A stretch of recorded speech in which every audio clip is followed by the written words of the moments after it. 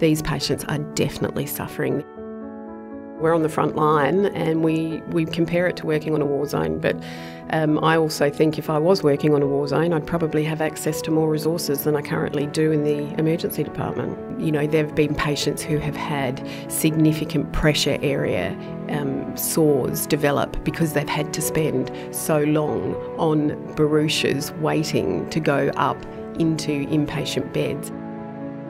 The long response times might mean somebody dies somebody who didn't need to die, somebody who could have gotten to the hospital and been treated because of ramping.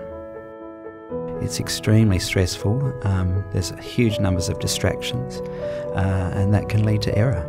It's important to do things within a certain time frame, otherwise, uh, uh, it can lead to unnecessary deaths. This affects all of us. I mean, it's essentially telling someone, we've brought you to hospital because you're unwell, but you have to sit in the back of an ambulance for a couple of hours because there's no bed for you.